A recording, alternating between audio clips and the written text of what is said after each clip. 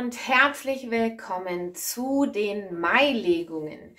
Wie immer gibt es am Anfang meiner Legungen äh, einen kurzen astrologischen Forecast, also eine Vorschau über die astrologischen Ereignisse im äh, Mai. Die sind für alle Sternzeichen gleich und die werden auch vor jedes Video geschnitten oder diese, diese Vorschau wird vor jedes Video geschnitten. Du findest aber unten in der Infobox einen Hinweis, wann du dieses Intro überspringen kannst, falls du dir mehrere Sternzeichen anschaust oder dich Astrologie nicht so interessiert. Genau, so, wir beginnen. Am 1. Mai wird Pluto rückläufig. Das ist jetzt ähm, schon auch immer ein Happening. Ähm, aber Pluto geht sechs Monate vorwärts, sechs Monate rückwärts jedes Jahr. Also ähm, Pluto ist noch im Sternzeichen Wassermann. Das ist das größere Happening. Das ähm, das bleibt er auch noch komplett den ganzen Mai. Er geht erst am 11. Am 11. Äh, Juni zurück in den Steinbock und das wird dann auf jeden Fall nochmal ein bisschen tricky Energie, aber da gehen wir dann im Juni drauf ein. Also 1. Mai, Pluto wird im Wassermann rückläufig. Und ähm, ja, wir dürfen auf jeden Fall damit rechnen, dass da auch nochmal, ne, Pluto ist unser, unser Transformationsplanet dass dann eben auch nochmal Dinge äh, sich zeigen, die verändert werden möchten, weil am 5.5., also nur vier Tage später, ist die Mondfinsternis im Skorpion. Pluto ist der Herrscherplanet von Skorpion, deswegen alles, was ich euch jetzt hier zur Mondfinsternis bzw. zum Vollmond in Skorpion sage, ne, da hat dieser Pluto in Wassermann definitiv auch, ähm, wirkt da definitiv mit rein. So, der Vollmond in Skorpion befreit dich von Negativität und die Mondfinsternis Ergebnisse in Reichweite.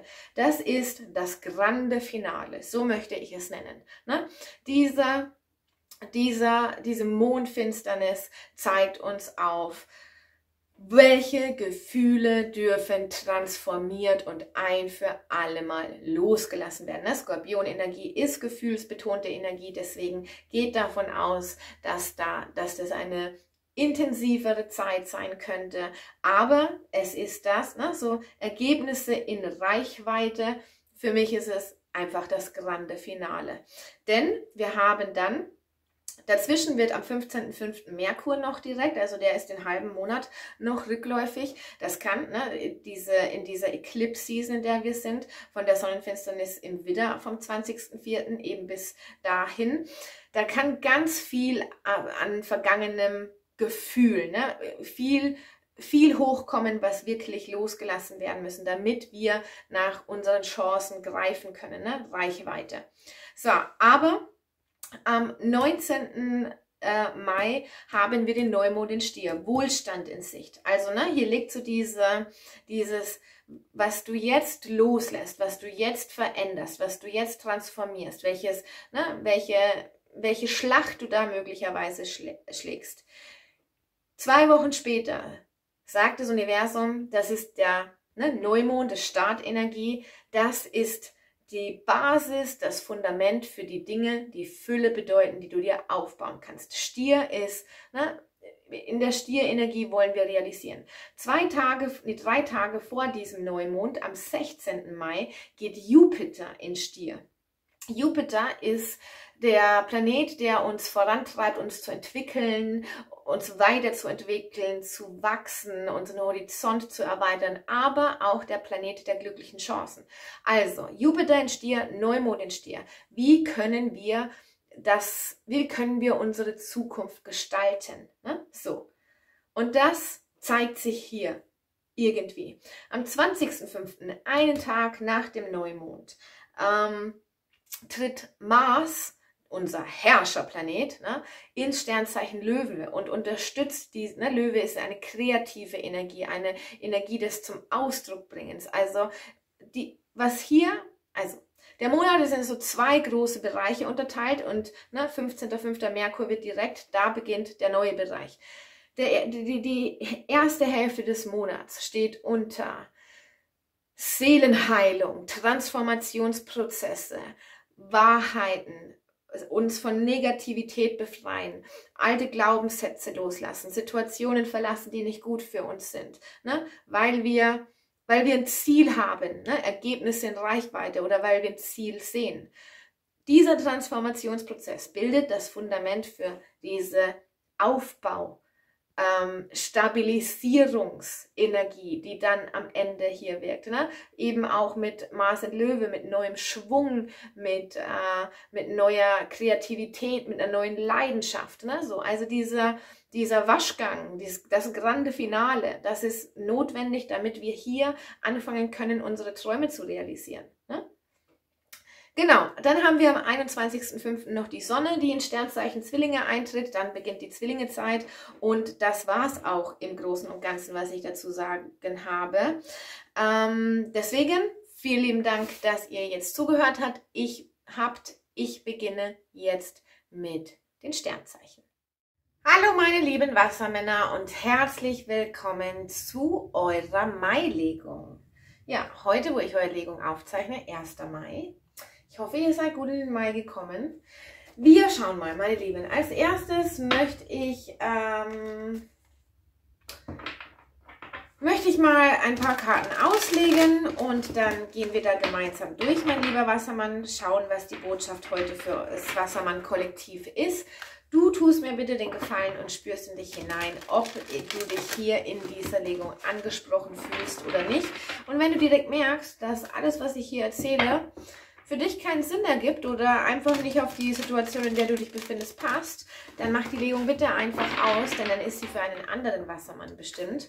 Schau dir gerne die Legung zu deinem Aszendenten an oder zu deinem Mondzeichen, Mondknoten, Venus, ne? was auch immer dich irgendwie anspricht. Vielleicht äh, passt die Botschaft dann besser. So. Ich habe den Monat in so zwei, zwei Hälften unterteilt, ne? so bis 15. Äh, Mai ist ja Merkur rückläufig mit der, mit der Mondfinsternis. Da ist auf jeden Fall so ein bisschen uh, Look to the Past Energie, sagen wir es mal so.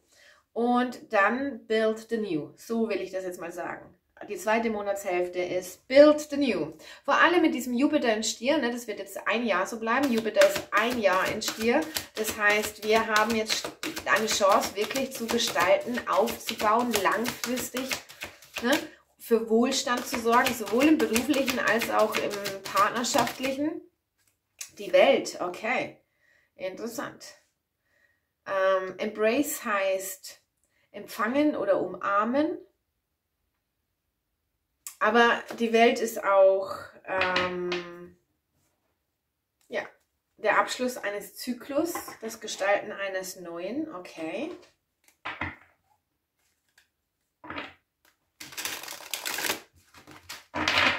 Bin gespannt.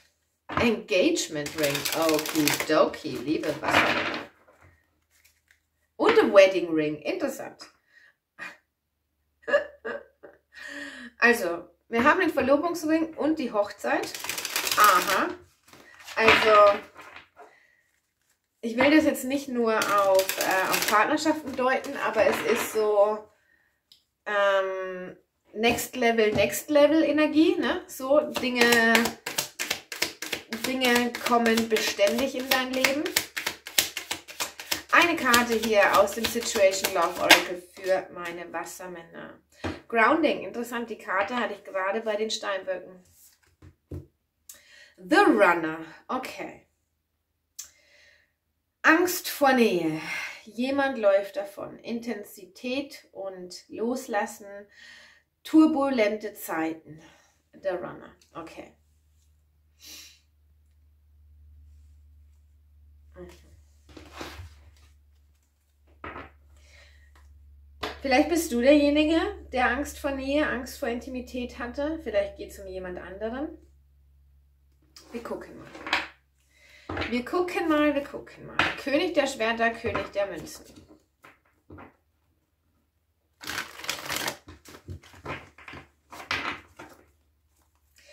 Also als erstes nehme ich Angst vor Nähe und vor Dingen davonlaufen wahr. Vielleicht ist das hier die Negativität, die gehen darf. So, ich hätte gerne mal eine Botschaft hier zur ersten Monatshälfte für meine Wassermänner. Okay, das Gesicht, oder? Ja, das Gesicht.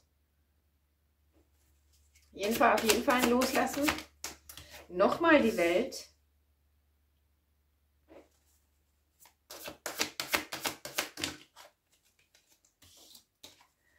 Die neun Schwerter und der Page der Schwerter. Wir haben auch Negativität mit den neuen Schwertern. Wir haben, wir haben sogar befrei dich von Negativität. Möglicherweise durch Kommunikation. Kommunikation befreit dich von Negativität. Ich hätte gerne mal den Pagen der Schwerter abgeklärt. Ein klärendes Gespräch, der Tod, wow. Okay, meine lieben Wassermänner, der, der Vollmond im Skorpion äh, kann dein Leben verändern. Sagen wir es mal so. Die, der Tod spricht manchmal von Geheimnissen.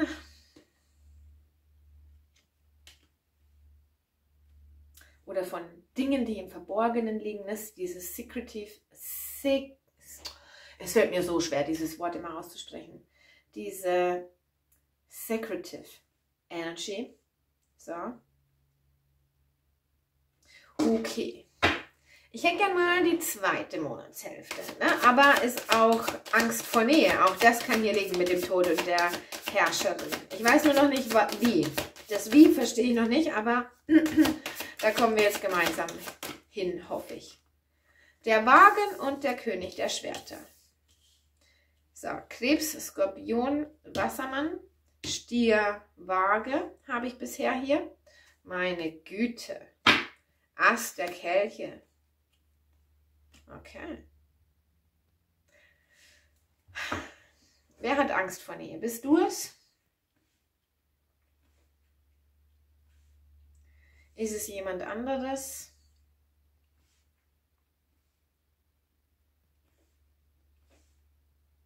Ich meine, der Runner Come Back kann auch sein. Aber irgendwie, weil du hier liegst ich will euch nicht über einen Kamm scheren, ne? aber ich weiß schon, dass Wassermänner so ein Thema haben mit emotionaler Distanz. Ne? So Bindungsangst. I don't know. Ähm ich hätte gerne mal den Runner hier abgeklärt. Es kommt auf jeden Fall etwas auf dich zu. Ja, okay. Angst vor Nähe. Und Jetzt, okay, eine Karte hätte ich noch, weil auch dieses im Verborgenen. Acht Stäbe, okay. Gasterschwerter ist nicht mehr so lange im Verborgenen. Okay. Also, ich weiß nicht, ob wir hier von einer Person reden, die ein Runner war, ob du der Runner bist, ob es generell, ich will diese, am meisten nehme ich auf dieser Karte, ich bin vor der Liebe davongelaufen, weil ich weil ich immer Angst davor hatte oder die Liebe ist immer von mir davon gelaufen. Aber am Ende des Tages, wenn die Liebe von dir davon gelaufen ist, dann hat sie dir etwas gespiegelt. Ne? So.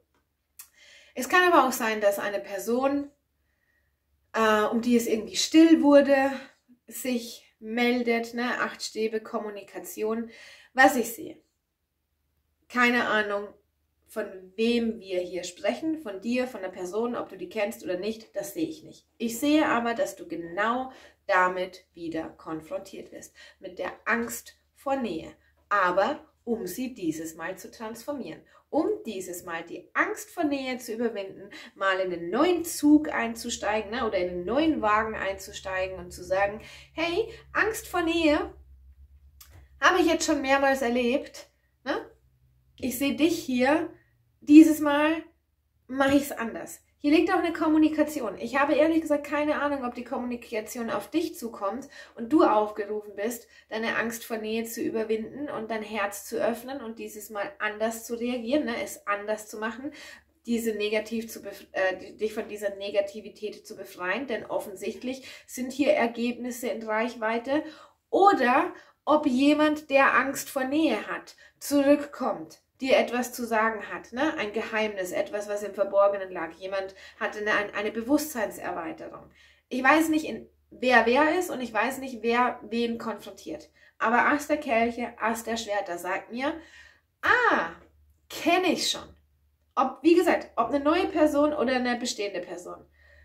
Das kenne ich. Ne? So, entweder ich bin derjenige, der, der sagt, oh, das wird wieder sehr nah, ich ich fühle, ich fühle diese alte Angst in mir hochkrabbeln, Angst vor Nähe. Aber dieses Mal nehme ich es bewusster wahr und dieses Mal treffe ich neue Entscheidungen. Ne? Ass der Schwerter, Ass der Kelche. Ich renne nicht wieder vor Intimität weg. Oder, wie gesagt, es ist ein Gegenüber, eine Nachricht, wo jemand tief blicken lässt. Ne? Also hier liegt keine Angst vor Nähe. Also in irgendeinem Kennenlernen, in irgendeiner Kommunikation wird diese Angst vor Nähe nochmal thematisiert, um sie loszulassen, um sie zu überwinden. Ne? Zweimal die Welt.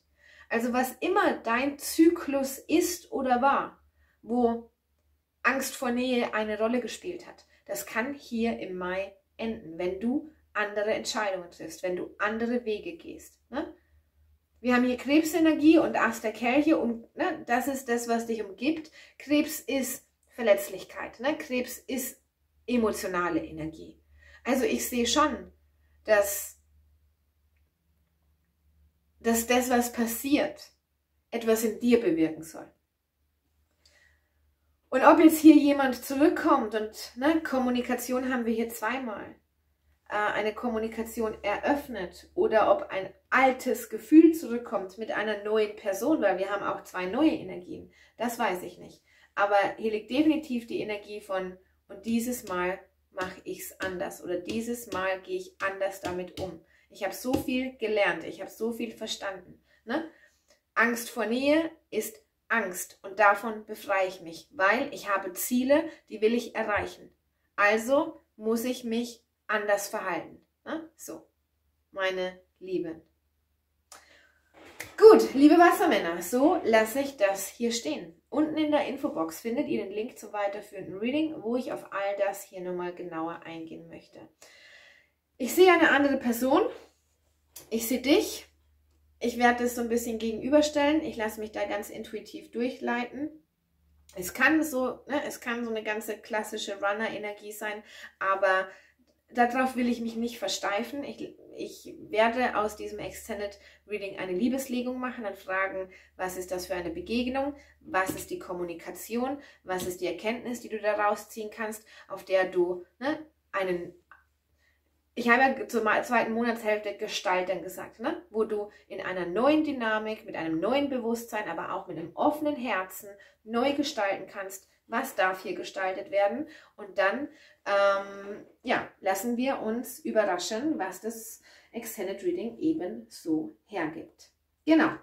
Außerdem findet ihr alle meine ähm, Zusatzvideos hier auf YouTube in meiner Kanalmitgliedschaft. Wenn du gerne Teil meiner Soul Family werden möchtest, findest du ebenfalls unten in der Infobox alles, was du dazu wissen musst und wie du da beitreten kannst. So, für die Wassermänner unter euch, die sich das Zusatzvideo nicht anschauen. Ich sehe hier zwei Asse, ich sehe zweimal die Welt und ich sehe den Tod. Was war der rote Faden in, deinen, in deiner Vergangenheit, ne? in deinen letzten Beziehungen? Ne? So. Wer hatte Angst vor Nähe? Sind die Menschen vor dir davon gelaufen? Bist du vor der Liebe davon gelaufen? Jetzt ist irgendwie ein Meeting Point, an dem du genau an diesen Punkt nochmal kommst. Und ganz ehrlich, Skorpionenergie, ja, das kann intensiv sein, das kann einen Angst machen, da kann eine alte Angst hochkommen, aber sie kommt nicht, ne, die neuen Schwerter, sie kommt nicht hoch, um dich wieder in die größte Not und in die allergrößten Sorgen und Zweifel zu stürzen, sondern sie kommt hoch, um sie loszulassen. Ne? Um ohne diese Angst weiter durch dein Leben zu marschieren, weit, ne? ohne diese Angst Beziehungen aufzubauen oder Gefühle. Ne? So. Also, ich glaube, du wirst hier schon, ne, wie gesagt, mit dieser Todenergie, du wirst hier schon intensive Gefühle haben und möglicherweise auch nochmal richtig, ne, so, oh je, es wird mir zu nah, es wird mir zu eng, ich, ne, ich bin so weich, ich bin so verletzlich, aber ich sehe dich auch, ich sehe dich das reflektieren, ich sehe dich, oder ne, ich sehe dich das klar erkennen, ich sehe dich das transformieren und ich sehe dich ehrlich gesagt mit diesem Embrace, ich sehe dich es auch zulassen. Ne? So, ich habe das Gefühl, ja, die Angst kommt, aber sie hat nicht mehr die Oberhand. Sie hat nicht mehr die Oberhand in deinen Entscheidungen. Denn am Ende des Tages ähm, ist hier wieder emotionale Nähe. Und sie liegt bei dir. Just saying. Ne? So. Ja. Meine Lieben. Hier ist irgendwie die Klärung oder die Erkenntnis, ne? so der Durchbruch. Ähm, ja, was mit Angst vor Nähe zu tun hat. Das ist alles, was ich dazu sagen kann. Ich bin sehr gespannt, was im Extended rauskommt, was das hier für eine Kommunikation ist, ähm, die, die für dich so eine transformative Wirkung hat. Genau, meine Lieben, so lasse ich das hier stehen. Vielen lieben Dank. Vielleicht bis gleich. Ansonsten hoffentlich bis bald. Tschüss.